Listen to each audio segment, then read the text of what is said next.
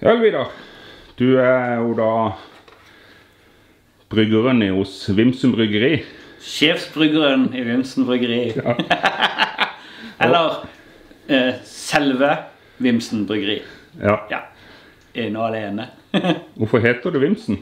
Eh, det starta med at jeg som liten ble kalt Vimsen av min far. For jeg er så forferdelig vimsete. Så når jeg brygger, så glemmer jeg alltid hvor jeg legger ting. og Som jeg leter etter ting. For jeg vimser rundt hele veien. Jeg er ganske flink til å få ting til, men jeg roter fælt. Så jeg vimser mye, så da måtte bryggeriet hete Vimsen. Og hva var det som eh, fikk deg til å begynne med brygging? Eh, jeg var på en fest eh, en gang, og så var det en som hadde brygga øl der. Og han sa til meg at eh, det er kjempeenkelt å brygge øl. Du må bare sørge for at du har 100% kontroll på alle temperaturer. Kan ikke skyte feil noen ting på én grad hit eller én grad dit. Så jeg fikk helt noia. Og så kommer eh, stesønnen min og så sier han Øyvida, du må begynne å brygge øl. Ja. Nei, det kan jeg ikke gjøre. Det er altfor vanskelig. For dere har jeg hørt det er alt for vanskelig. Nei, sa han. Dette dette her klarer du helt fint. Du må bare kjøpe deg en, en bryggemaskin, og så er du i gang. Så tenkte jeg ja, da må jeg prøve, da. Så 2016, da starta vi å brygge. Og så Da bestilte jeg bare utstyr, da. Nevnte han noe om hva dette kan kunne koste etter hvert?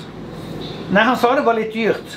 Eh, Så jeg kjøpte jo utstyr, så jeg brukte jo 10 eller 12 000 da, Ja. på utstyr, og syntes egentlig det var litt mye penger.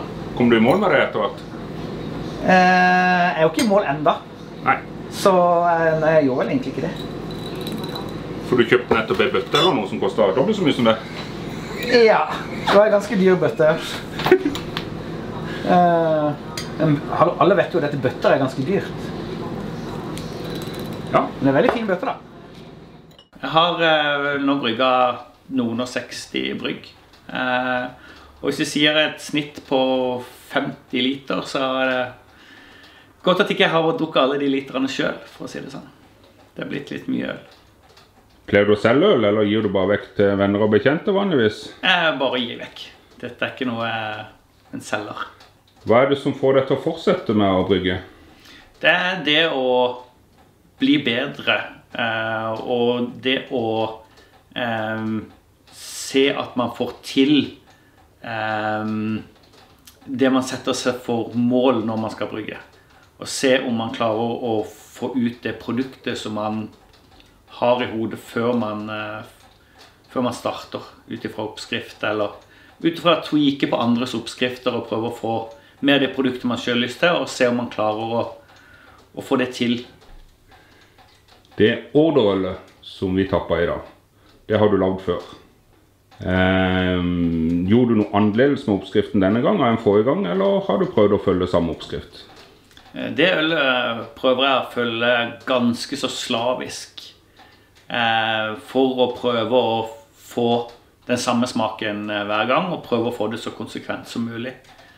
Eh, brygga litt mer denne gangen enn jeg gjorde forrige gang. Og da må man bare justere litt på resten. Og selve bryggeprosessen er det også litt i forhold til hvor bra prosessen blir. Har litt å bety i forhold til hvor mye utbytte du får av kornet. Som da fører til om det ølet blir sterkt eller ikke. da, Med alkoholprosent. Så, så det, og det varierer litt fra gang til gang, og dermed blir smaken litt forskjellig fra gang til gang. Hører du mye på order vanligvis? Eh, jeg hører litt grann på det rett etter hver gang jeg brygger det. Ja. Og så eh, ramler det litt i glemmeboka frem til neste gang jeg brygger. Så, men det, du hører med til å høre litt på order etter at jeg har brygga ei runde. Yeah.